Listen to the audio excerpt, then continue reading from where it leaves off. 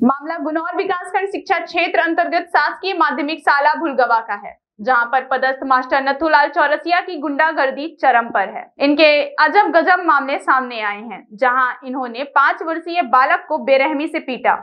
वहीं बच्चों के परिजनों द्वारा बताया कि ये मास्टर साहब हमेशा ही अपनी गुंडागर्दी दिखाते हैं।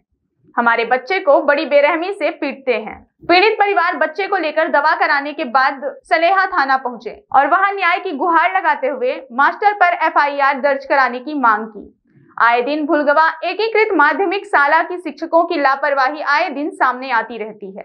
इस दौरान मीडिया ने शिक्षक नथुलाल चौरसिया से बात की तो बिना किसी डर भय के मास्टर द्वारा बताया गया कि मैंने दवाई के लिए बोला और डॉक्टर को पैसे भी दे दिए हैं। स्कूल में चल रहे इस तरह के कारनामों की जानकारी देने वाले मासूम बच्चों को धमका रहे हैं जब बच्चों द्वारा। स्कूल चल रही धंधेबाजी को लेकर बच्चों के माध्यम से जानकारी ले गई तो सूत्रों से पता चला कि शिक्षक बच्चों को धमकाते हुए उन्हें सिखाते हैं कि यदि अब तुम ऐसा बोलोगे तो तुम्हारी पिटाई होगी।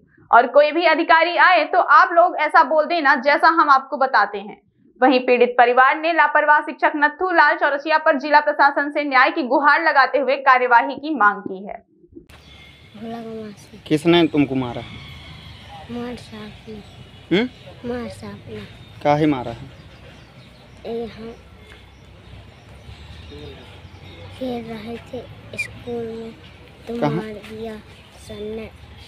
और हम फिसल के हमारे दांत आट टूट सर जी के मारने से दांत टूट गए। हाँ और ये भी चल गई। ये आई। बच्चे को लेके आए हैं। क्या हो गया आपके बच्चे? तो स्कूल गया था। हाँ। दो लंच हुआ था खाना था। बच्चा रोता था वहाँ गिर गिर पड़ा। मार साहब कोई नहीं आया लेके वो खुद लंगड़ाते आया है घर। फिर पीछे पीछे मार साहब आए हैं। बोले हैं ठीक है जाओ।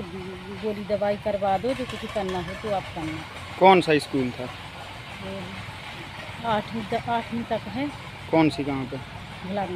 सरकारी स्कूल है। सरकारी स्कूल है। आप क्या चाहती हैं? हम चाहते हैं हमारा बच्चा गिर गया है दांत उसके टूट गए हैं हम तो रिपोर्ट करना चाहते हैं। मार साहब के। क्या नाम है आपका? हमारा नाम है।